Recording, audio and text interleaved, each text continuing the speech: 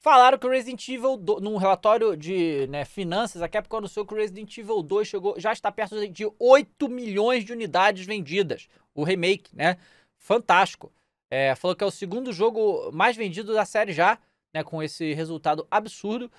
Legal, foi bom pra caramba. Foi muito bom Resident Evil 2 Remake. Então faz todo sentido. E o Devil May Cry 5 passou de 4 milhões de unidades vendidas. O Monster Hunter chegou a 16,8 milhões de unidades. A Capcom tá voando, né, cara? O Resident Evil 7 tá com 8,5 milhões. Olha só, hein?